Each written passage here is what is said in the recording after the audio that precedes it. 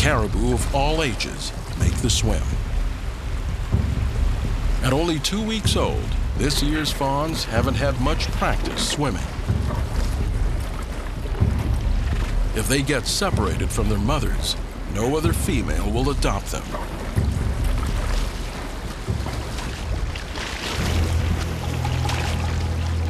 Sticking together is a matter of survival.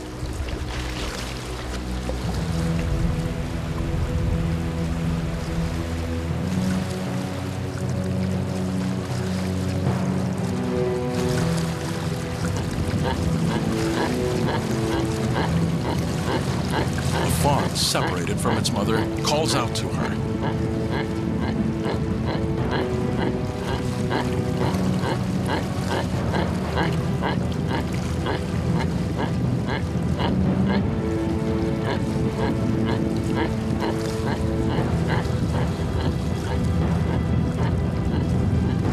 Mother turns back for her baby.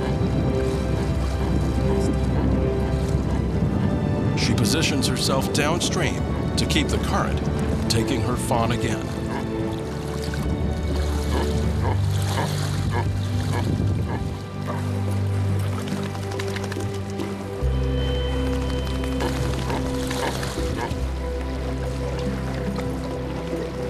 They've made it across. There will be more rivers and other dangers to come.